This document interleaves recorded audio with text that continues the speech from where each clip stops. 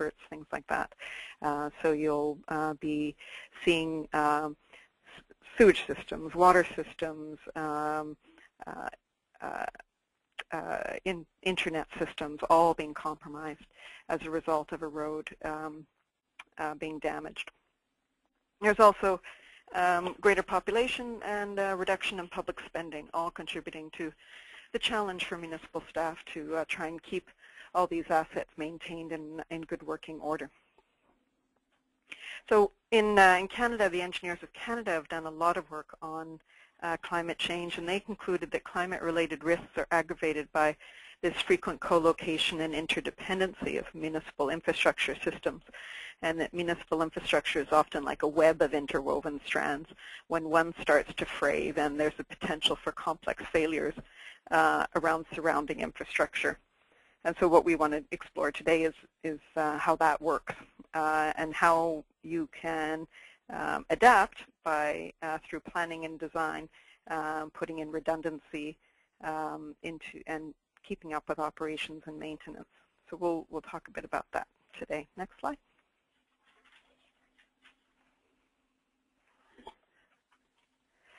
So some specific factors to consider. Uh, we are seeing extreme rain and flooding events more often. We are seeing hotter and drier summers.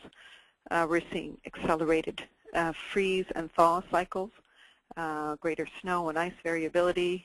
Um, we're seeing problems stemming from increased use of, of salt, and we'll talk about that in a moment. And uh, there are some very severe consequences in, uh, in more remote communities that we'll talk about as well. The U.S. Midwestern uh, Regional Climate Center offers frost-freeze maps as well as what they call the climate tool, um, where you can access climate data and other value-added tools. So those in the States might want to take advantage of that. Um, the MRCCs also has helpful resources uh, for forecasting vegetation and crop impacts, weather maps, and other, and other useful resources.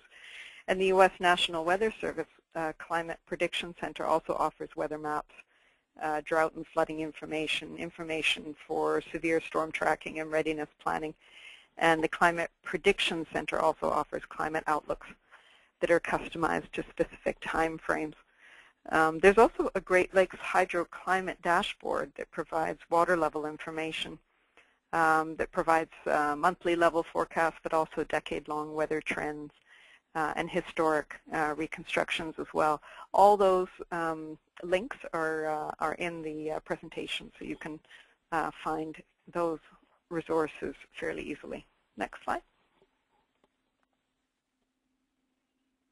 So this is a, now a, a famous uh, picture of a uh, GO interurban uh, train that was um, uh, stuck in very, uh, very high waters after a flood. I believe it was in 2013. Um, and this is the kind of interruption that can occur. Um, so climate-related disruptions in transportation infrastructure are obviously often related to greater frequency and intensity of these extreme rain events uh, that then result in this kind of flooding. Uh, and more frequent and intense extreme rain and flooding events has the capacity to cause significant uh, drainage issues and erosion to roads and, and bridge structures. It also lends to uh, increasingly overwhelming uh, culverts. Causeways, bridges, roadways, particularly low-lying ones, are also vulnerable to washouts or inundation as a result of uh, more frequent and more intense rainstorms. And the result um, is overflow from streams and water bodies.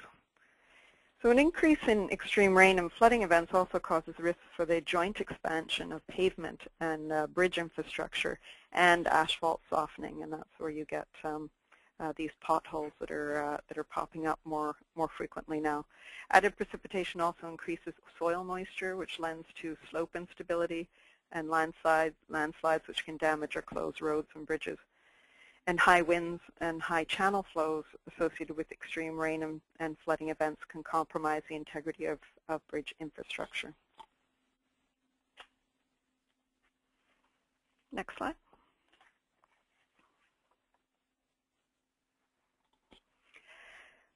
So the flip side of the, of the extremes of climate change are that uh, sometimes we're dealing with flooding, sometimes we're dealing with uh, hotter and drier summers, and we'll see that increasingly in future years.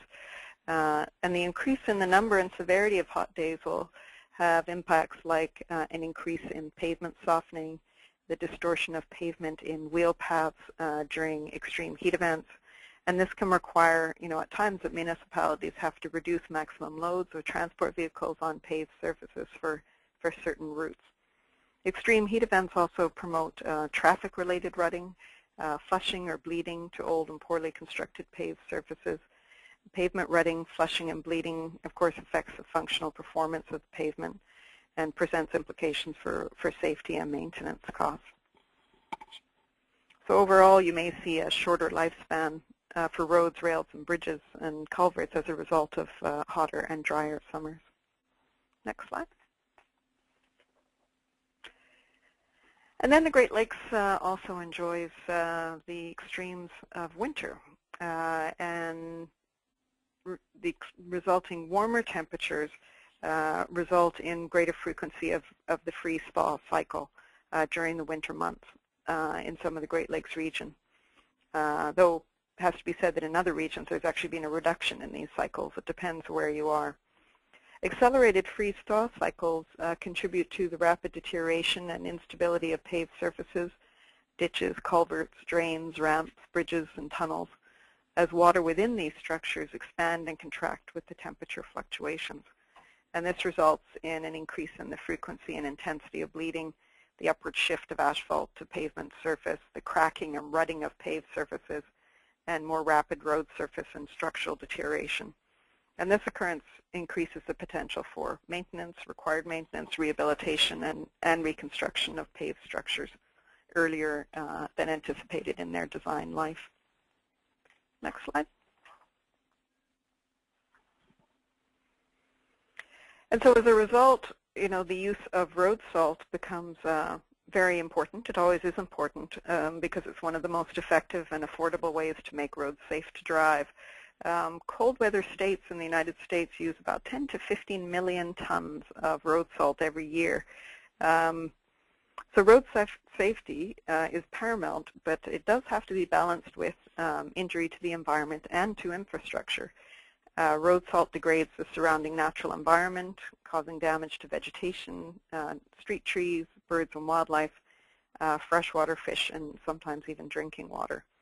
It's the chloride in road salt that's toxic to aquatic vegetation and wildlife, soils, groundwater, uh, rivers, and lakes. Uh, and anti-caking agents in salt sometimes contain cyanide, which of course the EPA has classed as a toxic pollutant. Um, and you know the security of private wells uh, can be at risk of salt contamination uh, concrete infrastructure, bridges, railway crossing, crossings can all uh, be corroded by salt.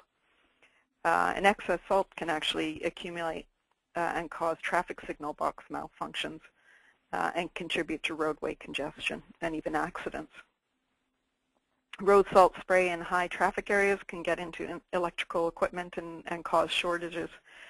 Um, so even though there's a projected reduction in average snowpack, um, which will reduce overall snow removal costs for municipalities. Um, unusual extremes may actually result in more use of salt, uh, at least in uh, the coming years. Next slide. So that creates a dilemma for municipalities because um, on the one hand, in 2003, there was a, uh, a, case in Ontario where uh, an individual lost control of her vehicle on an icy road and traveled into oncoming traffic and collided with another vehicle uh, after there had been two centimeters of snow that had fallen. And the courts found um, that municipal authorities had been lax in their roadway monitoring and clearing duties and that the municipality was not in compliance with the minimum maintenance standards in in Ontario as they relate to icy roadways and snow accumulation. And then in just last year, a Lambton County farmer was awarded more than $100,000 in damages in uh, a potentially precedent-setting lawsuit involving a municipal government's use of road salt. So the municipality is doing the right thing to keep the, uh, the roads safe, and uh, the farmer claimed and won the suit that the farm had suffered crop losses leading to a depreciation in value of their farm as a result of that road salt use. So uh, looking at um, road salt use and how to um, apply it as efficiently as possible or how to use different um, uh, uh, different uh, brines or sand as an alternative um, may be something that your municipality is already looking at. Next slide. There's also, of course, a link uh, between road safety and uh, the impact of climate change and public health. The U.S. Department of Commerce estimates that 70% of automobile accidents resulting in death are snow or ice related. Driving conditions in severe weather can be extremely perilous.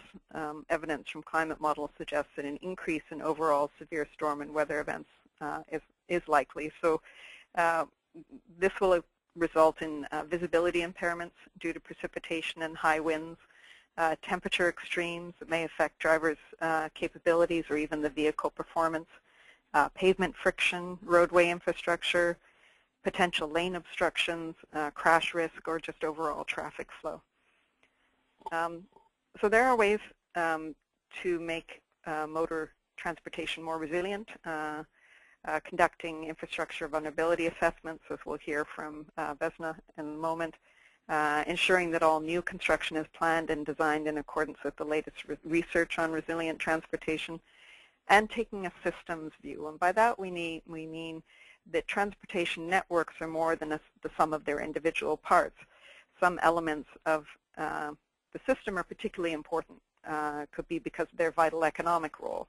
Um, there could be an absence of alternatives. Uh, there could be uh, heavy use of, in a certain area. So it's trying to figure out uh, where the most critical areas are of your system um, and uh, possibly building in redundancy where it's needed. Okay, next slide.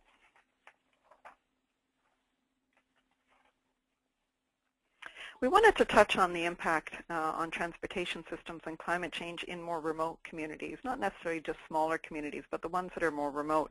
Wawa, Ontario uh, is in northern Ontario and uh, quite a distance from uh, any large community.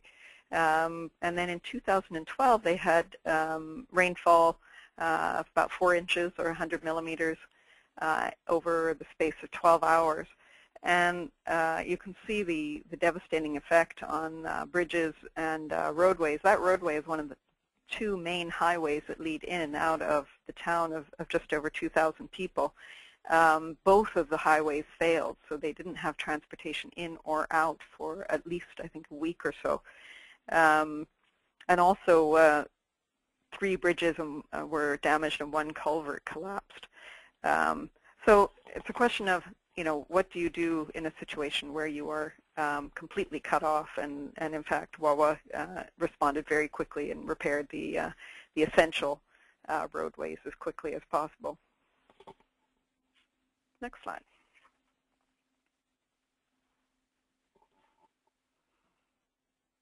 Could I have next slide, please? There's also impact to railway uh, networks, and even if the municipality isn't responsible for railways, the connectivity to your own transportation systems is, is relevant. And climate affects railroad systems and operations, efficiency, scheduling, and demand. And the viability of railway transit uh, impacts uh, many passengers, but also businesses um, uh, because of the cargo that's being uh, delivered. Uh, so it, a disruption of the railway network can be uh, disruptive in many ways. Um, railway tracks can buckle in extreme temperature, causing um, derailments, as you can see in this picture. Crossings and bridges are particularly vulnerable. And severe weather may require just sudden stops or rerouting of uh, a common train route. High-speed uh, crosswinds can be particularly hazardous for train operators and travelers, and uh, hazardous cargo obviously uh, is at risk if a train derails. So some of the adaptation uh, strategies could include increased forecasting capability with real-time data and additional monitoring stations, um, identify high-risk earthworks or flood sites, extreme temperature and, and high wind zones and aging infrastructure. Uh, you may, you know, if you're on the coast, raise seawalls, uh, increase your drainage capacity, uh, increase vegetation around the rails. Uh, Network Rail in the UK has developed some interesting and useful adaptation plans for its uh, extensive railways uh, throughout the country. The company installed 102 new weather monitoring stations along the Scotland train route to improve uh, its capability to receive weather forecasts and alerts. Next slide. And again, you're not responsible for air travel, but air travel does impact your municipality. Uh, extreme weather can lead to the grounding of flights. Uh, runway and aircraft damage can occur uh, with extreme temperatures and excessive precipitation. Uh, increased business costs uh, can result. Um, sudden or gradual changes in demand can occur if you're uh, having these troubles on a regular basis, and you'll just have unhappy customers. um, so adaptation strategies can include infrastructure reinforcements, again like seawalls if you're in a coastal area, uh, diversified local supplies or resources. If you have to get fuel to the airport, it may be a good idea to have um, a bit of redundancy built into that system. Uh, stormwater improvements uh, to improve drainage, uh, enhanced response programs for disruptions and emergency management plans.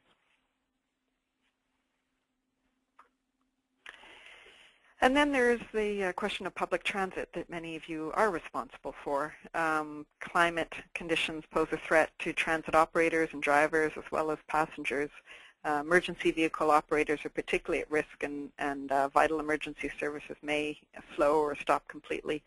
Um, and increased precipitation can flood um, bus and train storage lots and power outages can disrupt traffic control signals for all types of transit. Um, subways and below grade transportation uh, are especially prone uh, to a risk of flooding, and you can see in this uh, in this photograph. I believe this is in New York City. I may be wrong. Low-income populations, seniors, disabled citizens who may be more reliant on public transportation are, are obviously more affected.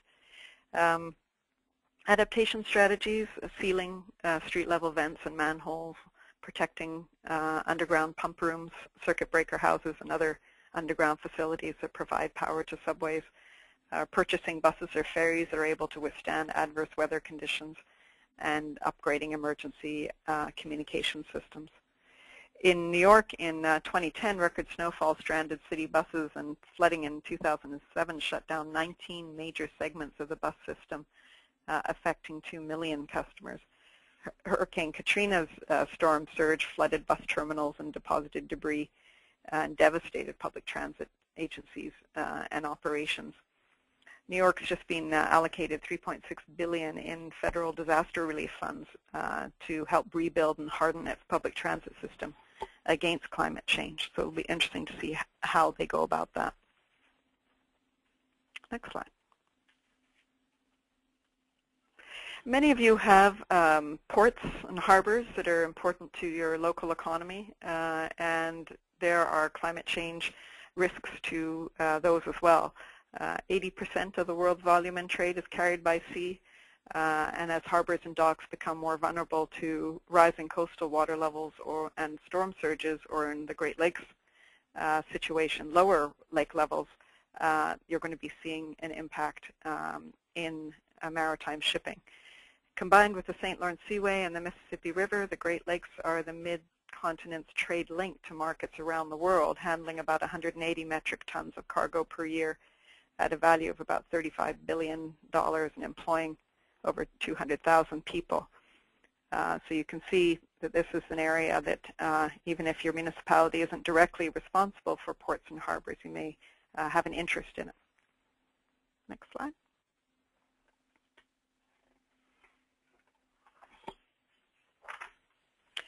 And uh, in terms of uh, climate change, uh, in terms of the U.S. energy infrastructure assessment that the National Research Council has undertaken, um, it says that, uh, that our infrastructure is particularly prone to severe weather, blackouts, and water shortages. Those are the three areas. When assessing, forecasting, uh, and responding to potential impacts of climate change and weather uh, on the energy sector, you must consider uh, lower probability, higher impact scenarios. Um, so they may not occur very often, but their impact is very high. and those are considered tipping points beyond which there are irreversible changes or changes of higher magnitude that, um, than expected based on previous experience. So air traffic control hubs, for example, uh, very important, probably not affected very often, but when they are, uh, very big impacts. Next slide.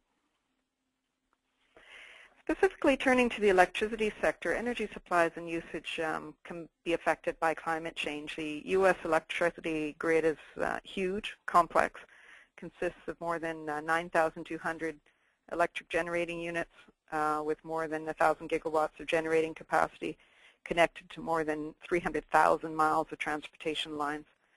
And increasing temperatures are expected to increase demand while also increasing transmission losses reducing uh, current carrying capacity, increasing stresses on the distribution system, and decreasing substation efficiency and lifespan.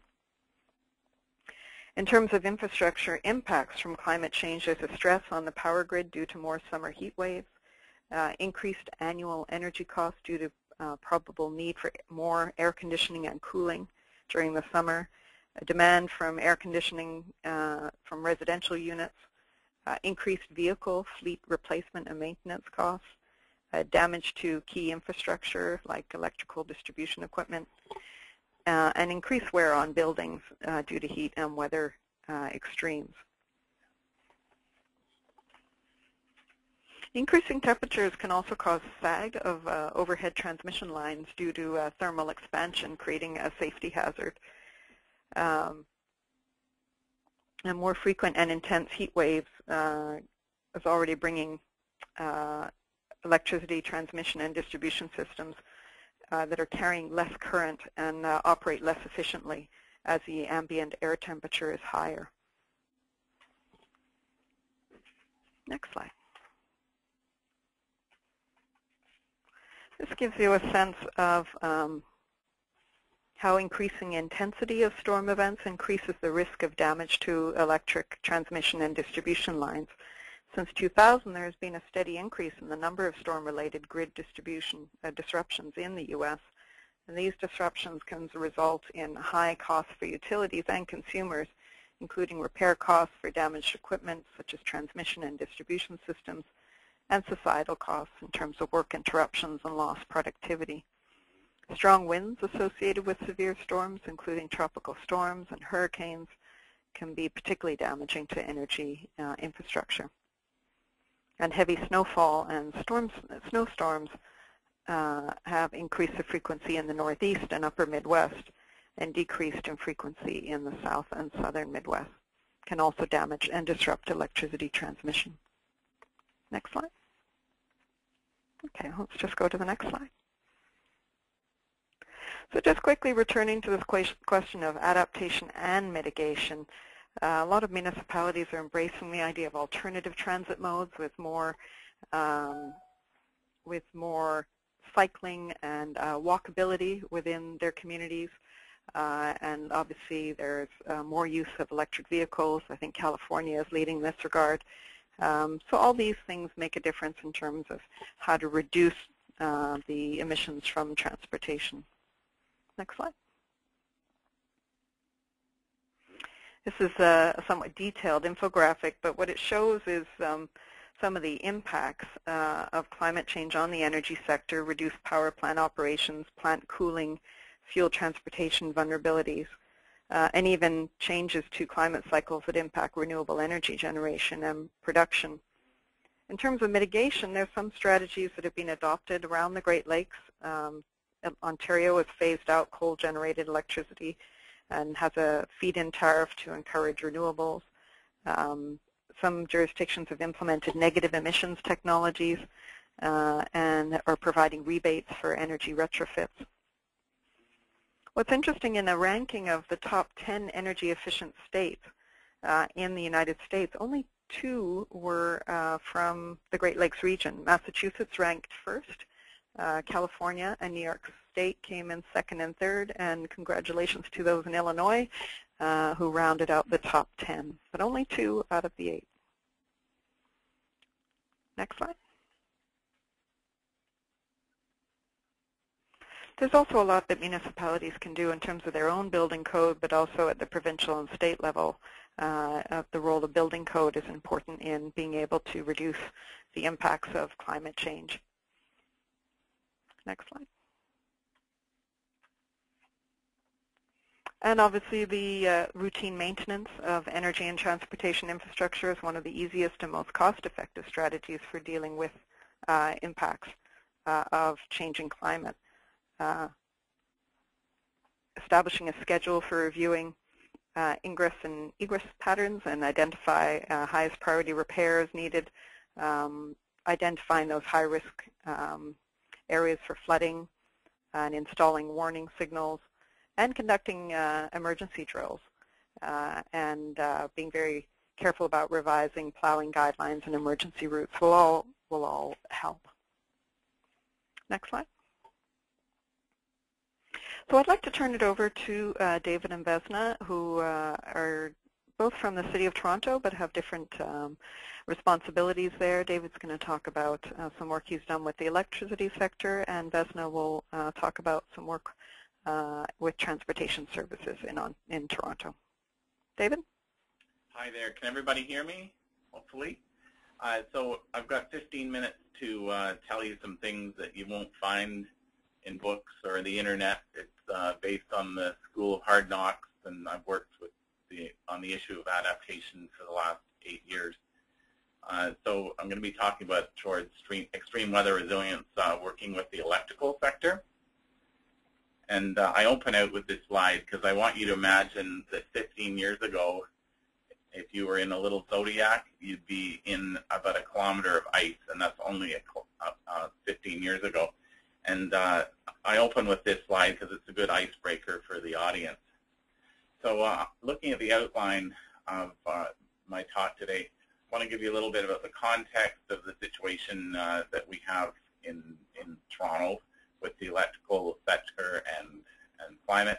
Uh, I want to talk about the strategy that, uh, that we use to engage the electrical sector, uh, some of the actions to assist the electrical sector, and then some of the next steps. So really quickly, uh, we had to spend uh, $250,000 of hard-earned taxpayer money to uh, get some more detailed climate information. Don't want to dwell on this, but it, it was uh, a useful exercise uh, to actually make this available to the electrical sector because it, it, put a point on, on what we're looking at uh, for the future. So our infrastructure is built on the assumption of a stable climate, but it, it's not, right? So the engineering of it uh, means that goes past certain thresholds and, and gets into trouble. Uh, so some of the drivers for adaptation that, that we see, and this is kind of our priority listing, is safety to avoid, avoid harm to the public and employees, uh, customer service, uh, maintaining prosperity and achieving cost avoidance. So looking at damages to infrastructure from extreme weather, considering our credit and insurance risk rating, and our business and reputation, uh, reputation uh, wanting to attract and retain uh, businesses and employment, and uh, also achieving efficiencies through cooperation, especially recognizing interdependencies of infrastructure. I'll have a little bit more on that concept of interdependencies. And then uh, also just considering overall uh, there can be corporate and personal legal liability when there's a failure to act. So uh, looking at just quickly some of the history, Toronto was one of the first cities in the world actually to have a climate change adaptation strategy. And uh, at that point I said to myself, you know what, if I, if I did a perfect job and the city of Toronto was fully uh, resilient to climate change, we'd only be 50% done because what about all of the uh, other businesses and infrastructure as well as our residents?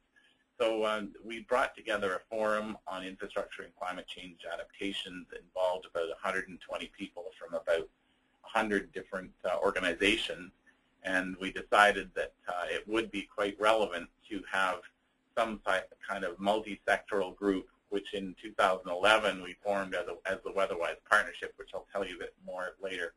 Uh, in the period of 2010 to 2012, we did that climate modeling. We developed the uh, climate change risk assessment tool, which Vesna will tell you about. And also we did some benchmarking around the world uh, to some of the other cities that were working hard on climate adaptation.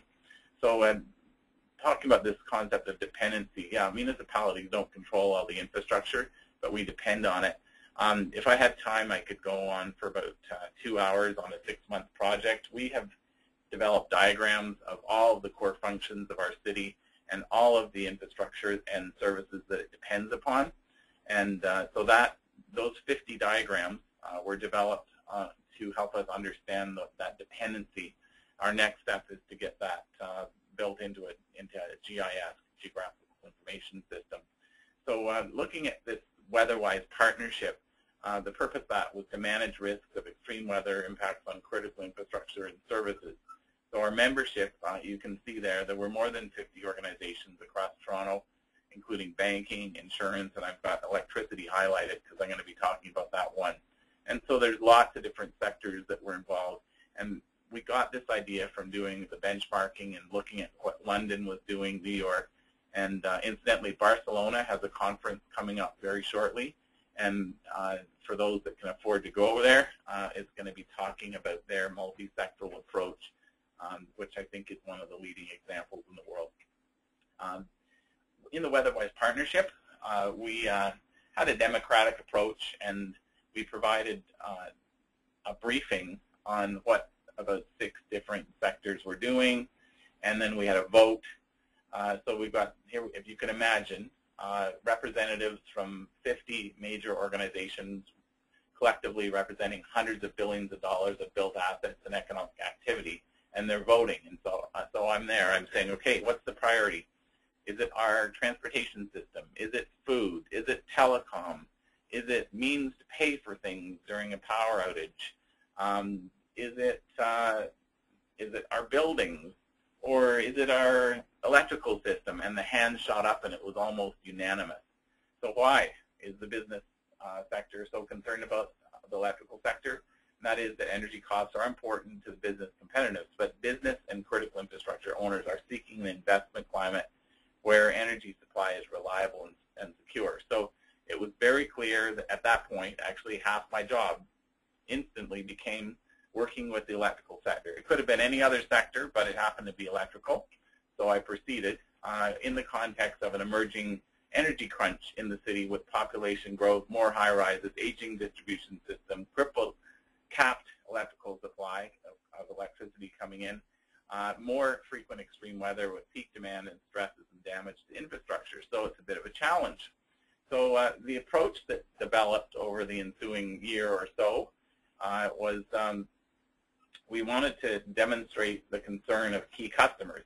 We did that through the voting, and that allowed me to approach, literally, knock on doors of uh, executives in six different electrical organizations and we were working on a benchmarking study, and I was able to prove to them that other electrical jurisdictions around the world were taking work on adaptation action.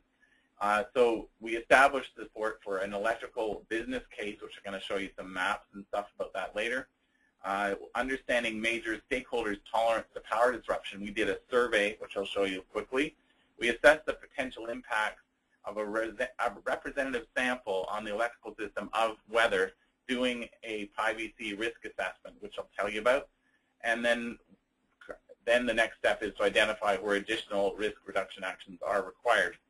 Okay, so this, we did this survey. Uh, we had to raise $60,000 to do it. It was very professionally done.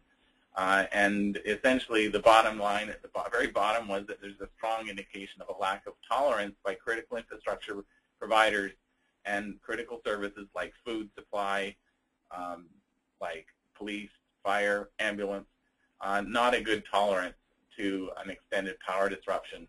So that gives us some evidence that there is a problem. So we, we speculated back in 2012 that there was a problem. So I just want to quickly show you some stuff here. Particular vulnerability for Toronto is that we have a unique situation of lots of high-rise buildings with the associated problems you can see with power disruption. So this is a map that we devised, uh, that some other staff devised to look at, at where the vulnerable people live. And then we thought, well, where are most of the power disruptions occurring that we have record of? And then we simply did an overlay, and this was really quite instructive, and it gave more specific risk information that we could provide to the to the electrical regulator um, which happens to be in Ontario, the Ontario Energy Board. So this helped develop the business case, and this is how the City of Toronto staff uh, recognized that we could be allied with the electrical sector and working together to achieve understanding of climate risks and to achieve obtaining the necessary funds to actually adapt. And that could only be done if the regulator gives the money for that to be done.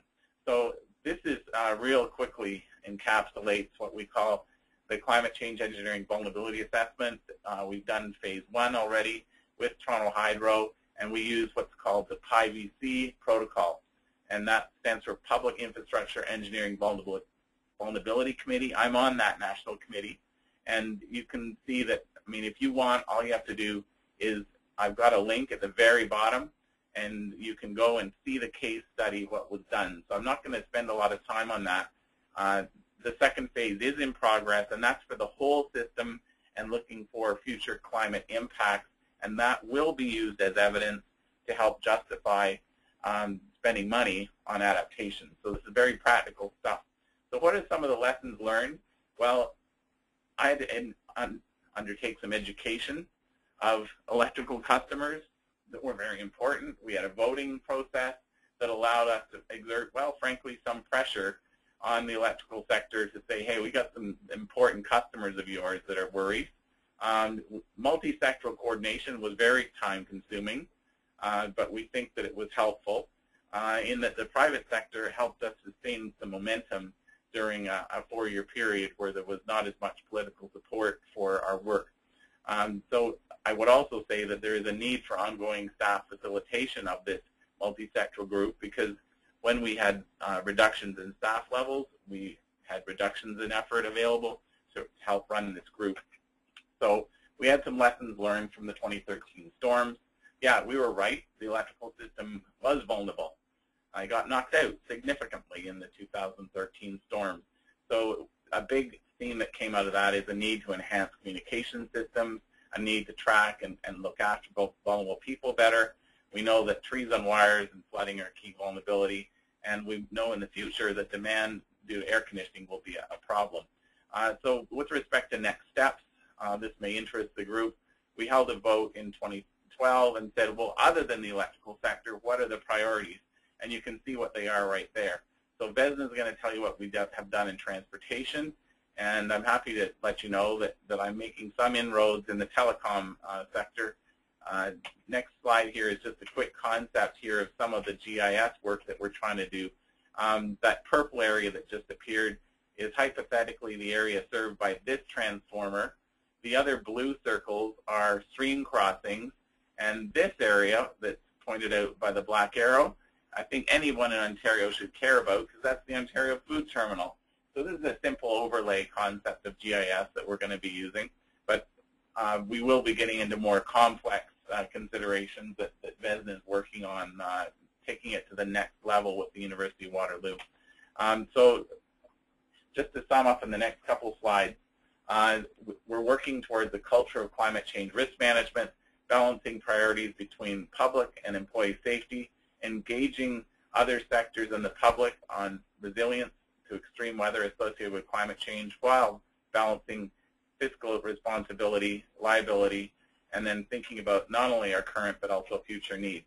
Um, I'm happy to say, and I got this just an hour ago, that, uh, and I asked the Canadian Electricity Association if they could provide a statement, and essentially they're they're kind of picking up uh, sort of the next steps. And I'm I, I think I could say that the work that we did in Toronto helped lay some of the groundwork um, that the Canadian Electricity Association could be doing nationally. And so the essential statement is that um, is that the Canadian Electricity Association Sustainable Electricity Program has an indicator on whether members have an adaptation management plan in place. And so what they're trying to do is have everybody have climate change adaptation management plans by 2020 if they're going to be a member of the CEA uh, in Canada. So the CEA is currently working on a template to provide consistency and guidance for members as they develop internal plans and strategies. And I there's an additional note from my colleague uh, Todd Hall, who was with me right from the start on this, and that is that there are many utilities out there like Durham Region and City of Toronto that are already identifying their vulnerabilities and assessing their risks. And that's my last slide, and I'm done. Thanks. So now okay, I'm gonna I'm gonna start while you get ready with my slide. I'm gonna start the presentation, uh, just uh, giving a little bit of uh, backgrounder um, in the cognizance of time. So thank you again for inviting me uh, to participate in this uh, webinar, so I could talk about some of the work that we did in transportation. Uh, what the slide shows a title called Beyond the Storm. What do we mean beyond the storm? Well, beyond the storm means a paradigm shift in how planners, engineers plan design for the future. And how do we do this? Well, Toronto has developed a risk-based process and tool that enables infrastructure managers to better understand and manage climate change risk. Today's focus is not only on extreme storms and their devastating impacts, but the gradual and systematic impact of the changing climate on infrastructure and operations and how Toronto is dealing with these things. Now, just as a backgrounder, the division is responsible about 5,500 kilometers of roads, 530 bridges, 154 culverts, 22 traffic signals, etc. We have 1,200 experienced staff, and the replacement of these assets is about $12.1 million. Next slide billion dollars, sorry, 12.1 billion dollars. So this slide here, as I always ask people, is is this Louisiana or Toronto? Well, flooding is only a small component of the impacts that we've seen over the last 10 years. Next slide. Both of the previous presenter, next slide. Can you go to the next slide, please? Thank you. Both of the previous presenters have given us a quick, a very good overview of the drivers and challenges. The one thing I'm just going to add is that many people do not look at the issue of procurement and contracting practices, such as an overemphasis on initial capital costs without proper consideration of operations and maintenance issues can increase our vulnerabilities. Any organization that outsources their activities needs to require resiliency from any of their third parties. In addition, disruption of operations and emergency response capability due to cascading failures and back-to-back -back events needs to be addressed. Next slide.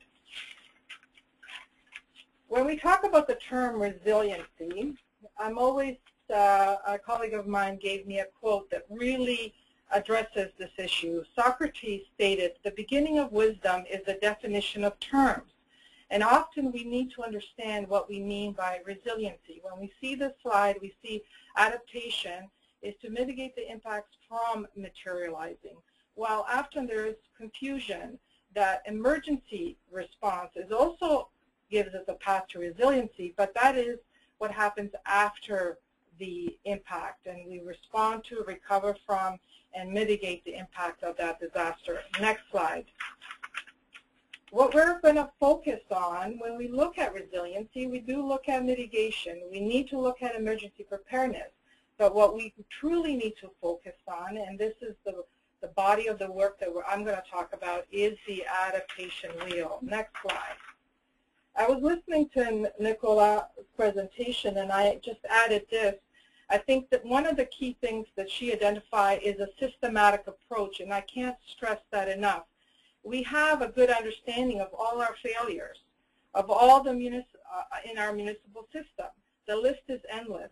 But what do we would do with this information? How do we manage the quantity of impacts and the competing issues? Where do we invest our limited dollars?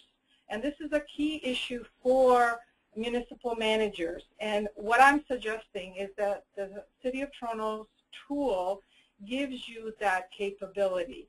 It's a tool that is a simple four-pronged step and is in uh, based on Microsoft Access, and as well as you are, uh, with that you get a user and technical manual. This tool is designed to handle climate, environment, and health and safety risk. It has a large uh, data capacity, and most importantly, it's evidence of or record of due diligence. Next slide. I'm going to go take a few minutes to go over very quickly over uh, the, the capability of the tool. As I indicated before, it's a four-step process. It was modeled on the inter International Risk Management Standard, ISO 3100, as well as aligned with the International Environment Management Standard of ISO 14001.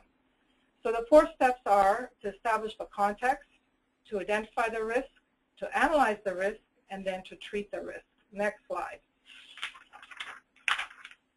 In terms of establishing the context, we need to do the external, uh, external, and internal, as well as identifying the uh, scope, which is identifying the high priority assets and critical services. And then you establish the risk criteria, which is the time horizon, consequence categories, likelihood rating, and the risk tolerance definition. Next slide.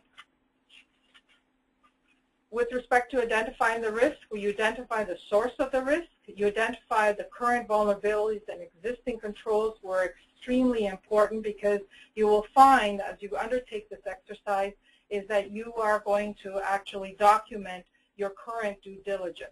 And then you identify the what-if scenarios, which is a combination of risk source, the impact, and the vulnerabilities that could create this risk despite existing controls.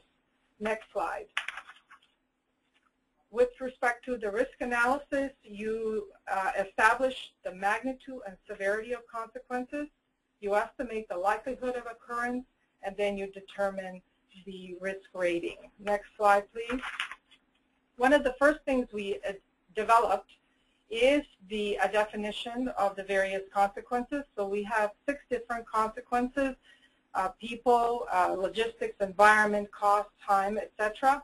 And we have a rating across six levels ranging from insignificant to catastrophic. Next slide. This is a sample of some of the definitions. The key part about this is that it needs to be a systematic approach identifying the consequences for each of the risk scenarios across the organization is an important component of the exercise. Next slide. The next step is identifying the likelihood. And this is where this risk tool is significantly different than any tool that exists internationally. And the key component is the estimating the likelihood is a function of the likelihood of the entire risk scenario, including the risks, likelihood of the risk source occurring and all the orders of impact occurring. It is not just the likelihood of the risk source occurring. An example of this is everybody knows about the Finch culvert failure. If I was to use the likelihood of the flooding or the rain event and the culvert failing, I would get basically a risk associated with that as being low to medium. But if I take into consideration the risk scenario where there is accumulation of debris in the culvert and the lack of inspection and the lack of removal of the debris, which is ultimately what caused the failure of that culvert, then the risk associated with that is extreme. Next slide. Next, we see the calculated risk rating, which is like uh, risk ratings calculate consequence severity times likelihood. Next slide. With respect to risk treatment, we identify the high priority risks to be addressed through a new and modified controls and reassess the residual risk. Next slide. Within transportation, we looked at seven different risk sources. We took, looked at three different functional groups within the division, uh, roads, bridges, traffic control signals, business continuity plan, winter maintenance, patrolling, inspections, etc. We undertook 90 high priority assets and services. We generated 1,600 risk scenarios for each of the two time periods, 2010 to 2020, 2040 to 2050. We trained 14 risk assessors we undertook 15 half-day risk assessment as well as three-day risk treatments. We identified 100 future controls and documented 60 current controls. And most importantly, we established the right mindset within the organization. Next slide is a, uh, shows basically a high-level uh, summary of the uh, risk assessment, and as we can see that in 2010-2020, most of the risk is in the low to moderate. When we go to the next time period, we see an increase of uh, and frequency of extreme weather events resulting in quadrupling of extreme risk and doubling of high risk. Next slide. Now, the devil is always in the details. So now we're looking at traffic control signal controllers, the cabinets that where all the uh, communication for the traffic signal uh, reside. And this is an exposure to extreme heat. Now, the controllers uh, have heaters and cooling fans. So the fans turn on at 35 Celsius, and the heaters turn on on 1 Celsius with a max range of 70 Celsius to uh, minus 35 Celsius. So we would say that that is a control measure. But we also identified specific proposed controls. So we need to monitor the use of these heaters and cooling fans and see if the frequency of use is increasing. We need to do routine inspections. What we found out through the risk assessment, even though we had these control measures, we weren't inspecting them as part of our routine inspection. So if there's a failure of the heater and or the fans, we wouldn't have known about that. So what the red line indicates, the stuff above the line is uh, controls that we could implement within current operating and capital budgets. And things below the red line are things that we need to uh, increase uh, any one of those budgets. An example of that is uninterrupted power supplies to critical intersections for emergency routes. Next slide. So quick summary of the work that was undertaken. We select events, assets, and services. We identify roles, responsibilities, interdependencies. We assess the impact. We develop a strategy for prioritization, an action plan, as well as a communication plan. One of the things, next slide please, is uh, just a quick summary of benefits.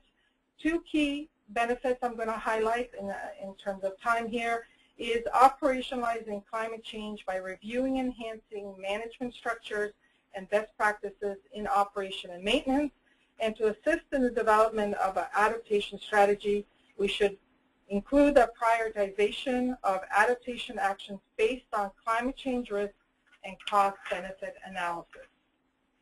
Next slide, please. The lessons learned is in terms of identifying not only lead risk assessors, uh, having a top-down, uh, bottom-up uh, approach, establishing a policy foundation for this body of work, and identifying the uh, synergistic risks.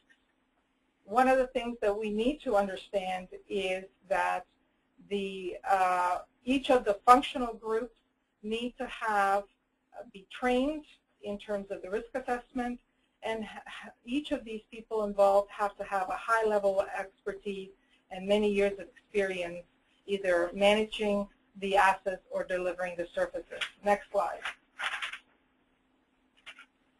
Before I sign off, I want to um, uh, bring your attention to um, a body of work that we have under, undertaking with the Transportation Association of Canada. The Environment Council of TAC has identified a new project that would facilitate the enhancement of the City of Toronto tool and um, move it and standardize it and make it available across Canada. I've included the, the hyperlink for the risk analysis and responding to climate change project. That's the title of it. The value of the project is about $260,000 and currently the municipalities in the surrounding area of Toronto have uh, pledged $60,000. So I encourage you to take a look at this project and hopefully you will be able to uh, fund. And one of the key objectives is, is, is to enhance the front end of the tool provide additional information on the process, how to undertake this type of exercise, and on the back end is to provide uh, reporting templates and uh, graphical, uh, I'm sorry, uh, graphics in terms of performing the analysis uh, and showcasing what the uh, current risk for that organization. Thank you very much. If there are any questions for myself and David. Thank you, Vesna and David. I'm sorry to rush you through a tremendous amount of information that's uh, very valuable. Um, we are uh, at noon, so I do want to just remind everybody that our next webinar is February 25th. Um, so please uh, register online. Uh, for those of you who do have to drop off the line, uh, feel free to do so. But if there are a couple of questions, I think we can just take a few minutes if uh, uh, David and Vesna are willing to stay on the line. Uh, yeah, no problem. Thank you. If there are any questions?